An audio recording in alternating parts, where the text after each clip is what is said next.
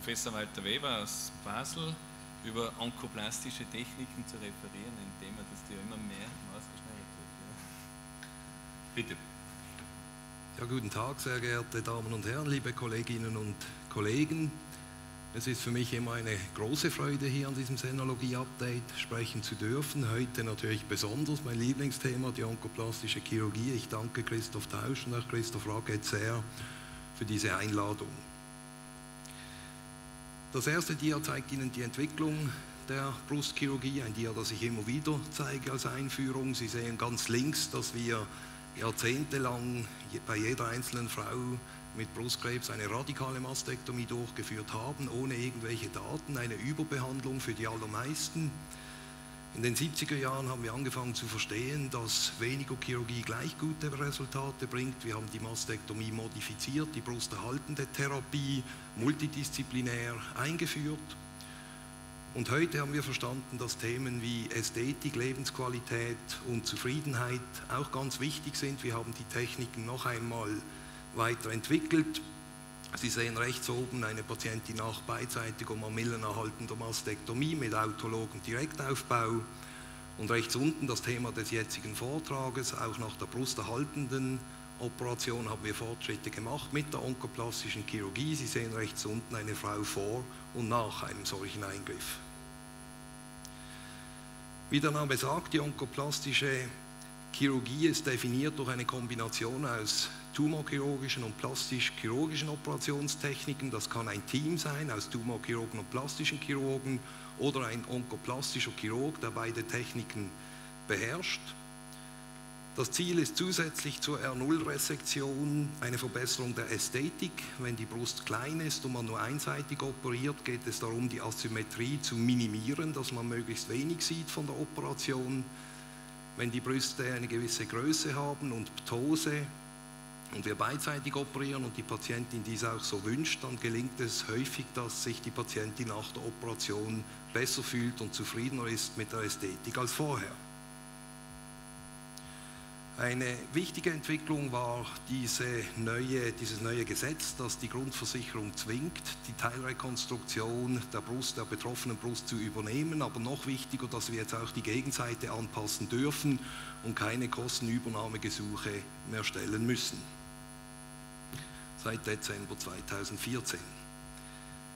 Hier sehen Sie eine Arbeit, Annals of Surgery, Nummer 1 Zeitschrift der Chirurgen vom letzten Jahr, die über 1400 Frauen befragt hat, wie zufrieden sie sind nach einer Brustkrebsoperation.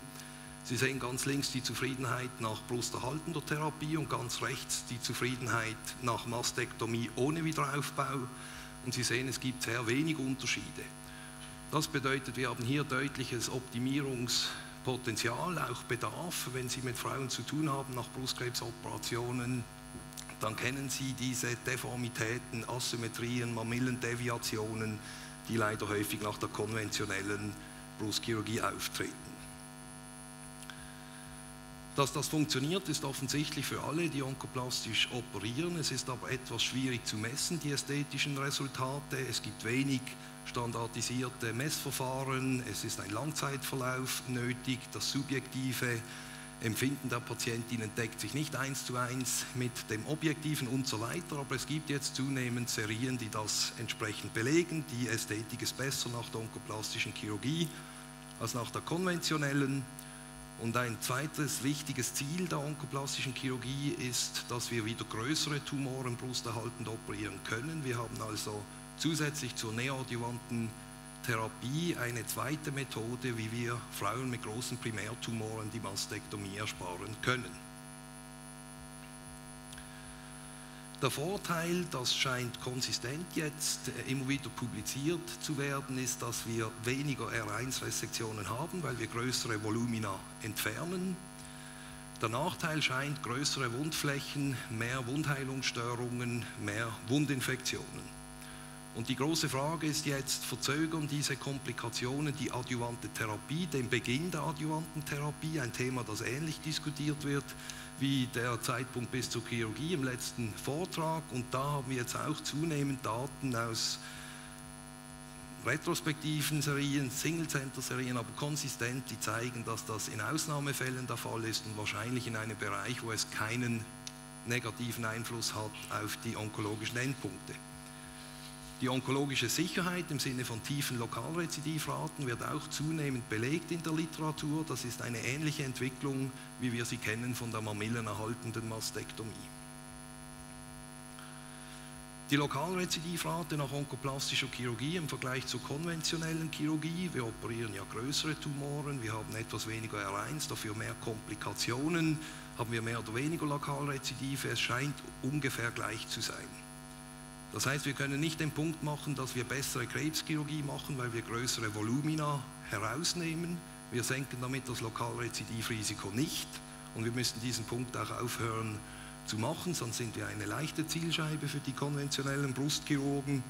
Und das deckt sich auch mit dem, was wir schon gelernt haben über die Schnittränder, mit der neuen Meta-Analyse, mit den neuen Guidelines, die zeigen, dass ein größerer Schnittrand mehr als Tumor Not Touching Inc. das Lokalrezidivrisiko nicht weiter reduzieren kann. Und es passt auch zu dem, was wir vom Emery, von der routinemäßigen Anwendung des Emery kennen, das MRI entdeckt war, zusätzliche Foci, die dann mit mehr Chirurgie entfernt werden, aber das reduziert das Lokalrezidivrisiko nicht. Wir haben in Basel die Nomenklatur für uns standardisiert und auch die Operationen. Wir reden nur noch von vier Operationskategorien, die konventionelle Tumorektomie und dann die drei onkoplastischen, die Tumorektomie, die Mastopexie und die Reduktionsmammaplastik. Die einzelnen Kriterien sehen Sie hier. Bei der konventionellen Tumorektomie wird fakultativ eine Verschiebeplastik durchgeführt. Das heißt, die Restbrustdrüse wird epifaszial subkutan mobilisiert und dann verschlossen.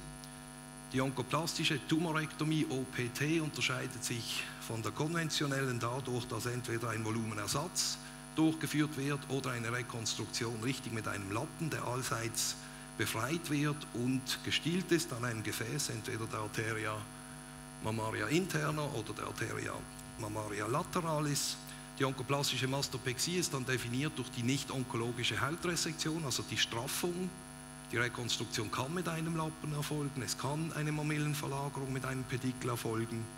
Und die onkoplastische Reduktionsmammaplastik beinhaltet dann sowohl den Straffungseffekt als auch die Mamillenverlagerung mit dem Pedikel und häufig, das zeige ich Ihnen in den Fotos, dann auch noch Volumenverlagerungen durch modifizierte Lappen.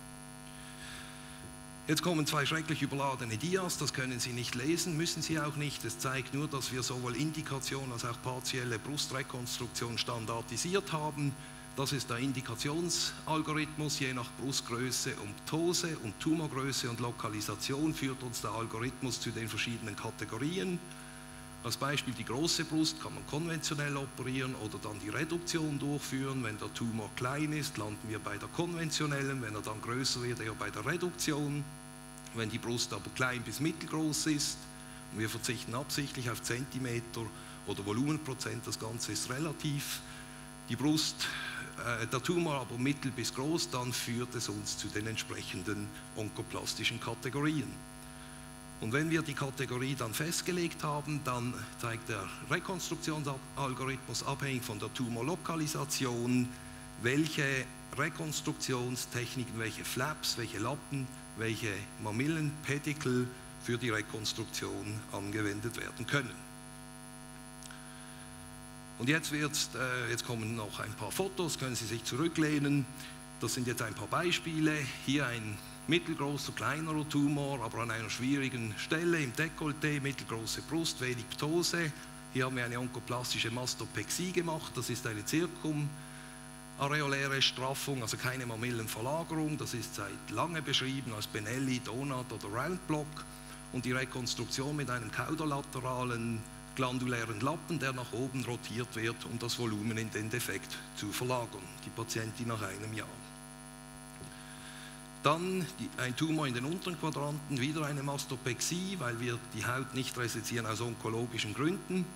Und dann einen doppelten thermoglandulären Rotationslappen, um unten abzustützen, damit die Mamille nicht nach unten fällt und es zu einem Volumenverlust kommt aus dem Dekolleté. Auch diese Technik schon lange beschrieben als V-Mammaplastik oder Triangle oder thermoglandulärer Lappen oder wie auch immer. Das ist eine Technik, die, soweit wir wissen, nicht beschrieben ist. Die ist dem kreativen, innovativen Geist von unserem Superplastiker Professor Hauge entsprungen auf dem Operationstisch.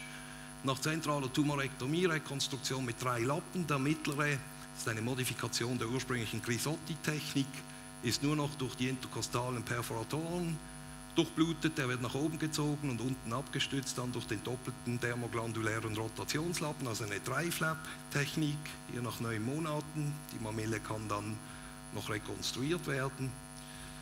Ein Beispiel für die onkoplastische Tumorektomie mit einem Volumenersatz.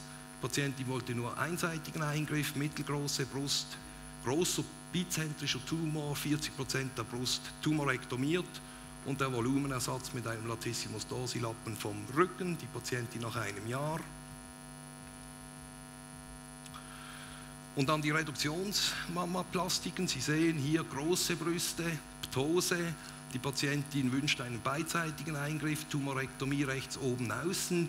Sie sehen, da arbeiten wir dann richtig mit Pedikeln und mit einem Kraniomedialen, um die Mamille zu versetzen und dieser, Kranio, dieser kaudomediale glanduläre Rotationslappen, der nach oben in den Defekt verlagert wird. Und hier eine letzte Patientin mit einem sehr großen invasiv-lobulären Mammakarzinom, den wir, ähm, oder wir, die Ärzte haben ihn längere Zeit nicht gesehen, wie das beim Lobulären sein kann. Man sieht es einfach nicht auf der Bildgebung. Schlussendlich 12, 13, 14 Zentimeter groß. Wir haben eine fast wie eine halbe hautsparende Mastektomie gemacht, aber eben so, dass wir mit der Technik, mit dem kaudomedialen glandulären Rotationslappen nach oben und dem kaudolateralen dermoglandulären Lappen nach unten, um das Ganze abzustützen, noch solche Resultate erreichen können. Ein Tumor nicht wirklich geeignet für die neoadjuvante Chemotherapie und das neoadjuvant antihormonell vorzubehandeln braucht sehr viel Mut bei dieser Größe und dieser jungen Frau. Ich hoffe, ich konnte Sie überzeugen, dass es sich lohnt, diese, diesen großen Aufwand zu betreiben, die onkoplastische Chirurgie anzubieten, um eben mit besserer Ästhetik Lebensqualität und Zufriedenheit unserer Patientinnen zu verbessern. Und ich danke Ihnen für Ihre Aufmerksamkeit.